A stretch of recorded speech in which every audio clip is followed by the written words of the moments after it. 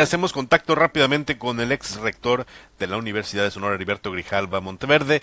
Ayer el actual rector nos decía que en la Unison existen eh, sistemas o métodos o procesos muy claros para evitar que la Unison sea utilizada, la Universidad de Sonora sea utilizada como las universidades que fueron expuestas en la investigación de Animal Político y Mexicanos contra la Corrupción y la Impunidad.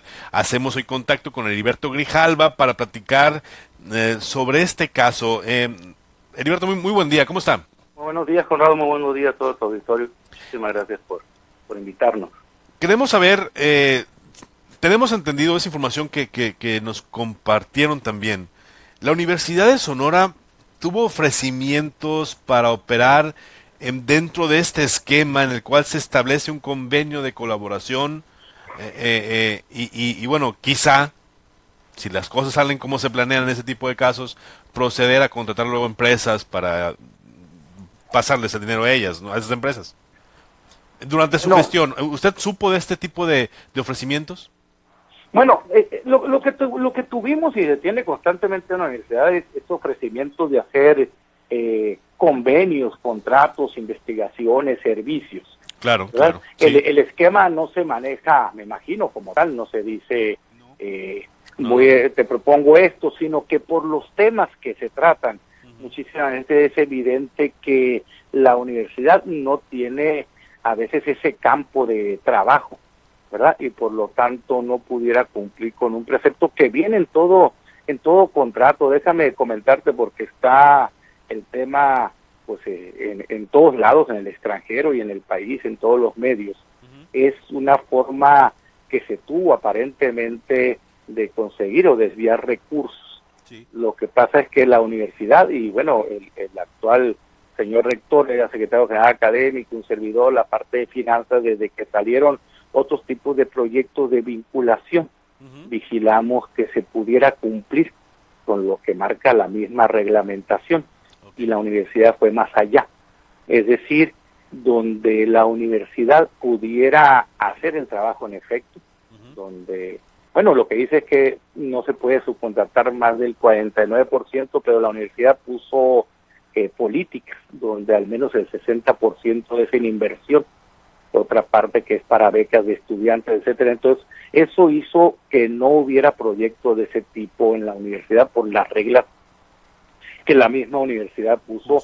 Y no era que tuviéramos el ofrecimiento así, pero era un riesgo que veíamos que se pudieran dar contratos Ajá. de no fuera la universidad la que los ejecutara.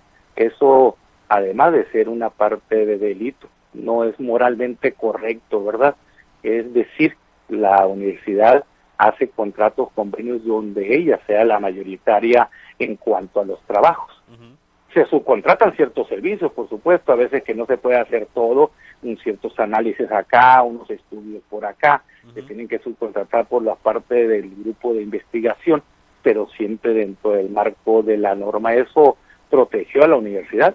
Eh, déjame comentarte que en algún momento se nos pidieron a todas las universidades, me imagino a nosotros también, todo lo que tuviéramos sobre contratos, era esa investigación que hacía la Auditoría Superior de la Federación, y bueno, viendo lo que teníamos nosotros, pues no fue ni necesario que se hiciera una auditoría a fondo sino las normales. Entonces, este esquema de trabajo que por un lado se ve noble porque beneficia a las universidades con el ingreso de recursos, porque le permite a las instituciones de educación superior, pues quizá mejorar la inversión en infraestructura a través de estos recursos, es también un riesgo o, o se, se puede prever el riesgo de que se cometan irregularidades. Eso fue Así lo que ustedes es. previeron desde un principio. Nosotros lo visualizamos desde que empezaron algunos tipos de proyectos más pequeños, en el caso de Conací, que se llaman Finova, Proinova, etcétera. Sí. Se veía que había muchas compañías o, o bueno, se sacaban convocatorias y había empresas, pero luego se planteaba la subcontratación de la mayoría, entonces dijimos que no, porque qué caso tiene que sea la universidad.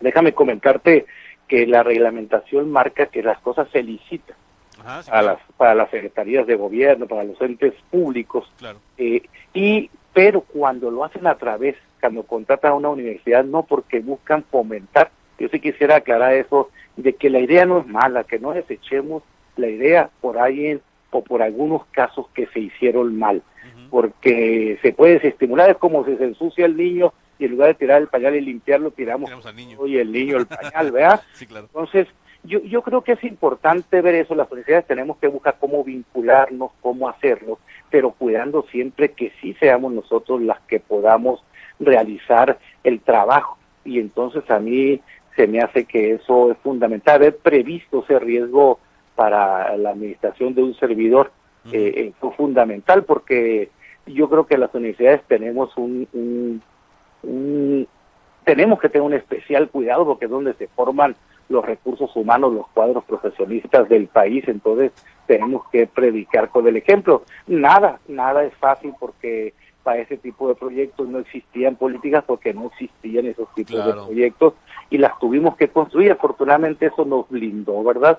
Yo, yo creo que es algo que se debe hacer en todos lados, pero incluso déjame comentarte algo a lo que llegamos ya en la última etapa en donde un servidor le tocó estar al frente de la universidad fue que además de lo poco que se tiene que subcontratar, que no rebasa nunca el 30%, que por ciento, nosotros a su vez esos servicios los empezamos a licitar también. Es decir, aunque la universidad tuviera el contrato, si dábamos un servicio, eh, te voy a decir un ejemplo que yo recuerde, estudios de infrarrojo por avionetas que se hacen para la cuestión del agua, la gente que trabaja esa parte de agua en geología, no, licitamos el servicio, invitamos a compañías, además de que era muy bajo el porcentaje, ese está conforme a la norma, porque nosotros entendemos la licitación no como una obligación, sino como una oportunidad de transparentar y hacer, hacer ahorros además para la institución. ¿verdad? Claro, y de fortalecer además la competencia, ¿no? Así es. Eso, eso ayuda. Yo creo que es fundamental, como que se ha ido mucho a que tengo lo hago por cumplir la ley. Claro. No, lo hacemos porque se tiene que ser eh, eh, piso parejo para todos los que quieran competir, se tiene que hacer transparente y bueno, además, por supuesto, cumplir la ley. ¿Usted recuerda más o menos, eh, yo sé que es difícil, eh, Heriberto, es muy, va a ser muy complicado, pero una cantidad de, convenios aproximada durante su gestión?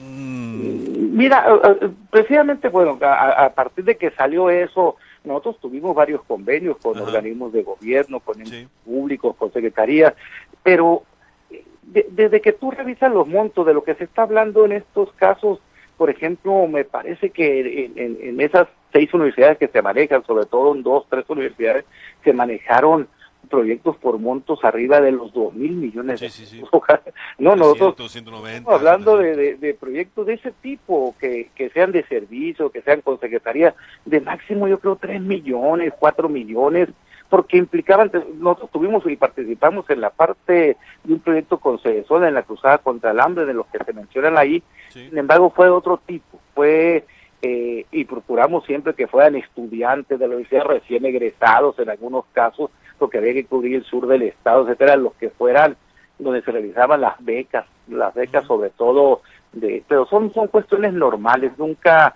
fue nada de grandes montos precisamente o quizás ni se nos buscó para eso mucho nos intentó porque teníamos reglas muy claras de lo que tenía que quedar en la universidad y que teníamos que tener la capacidad técnica para nosotros realizar mayoritariamente el trabajo. Entonces quizá, quizá eh, eh, ese tipo de, de, convenios realizados que se asocian con la investigación, en los que en un momento dado se comentaron eh, porque pues, sí, precisamente uno de los temas que se aborda en la investigación tiene que ver con un trabajo de campo hecho para la cruzada contra el hambre, pero no es aquí en Sonora, es en otro estado, y fueron varios millones de pesos, muchos millones de pesos. Sí, muchísimas universidades participamos, ¿eh? porque yo creo que trabajar en, en, buscar disminuir las desigualdades, medir los planes, eso es algo válido, todo eso de ser que no hay que tirar el niño. Lo que pasa es que malamente, aparentemente, según los resultados de la Auditoría Superior de la Federación y de este trabajo de investigación, porque algunos dicen que es un refrito, no, lo que hace lo que hace este organismo y este estudio es ir a buscar las compañías, buscarlos en su lugar, o sea, van más allá. Entonces, eh, nosotros hicimos y participamos con becas y participamos en todo el estado en programas sociales, y pero no tenemos este su contrato de compañías que fue el caso que lo que es lo que señala el estudio, ¿verdad? Gracias a que a que pusimos las las reglas de operación y que las cuidamos, sobre todo porque muchas veces van las reglas, pero no se da seguimiento, no se cuidan y eso es una, una debilidad que tuvieron algunas instituciones, parece ser.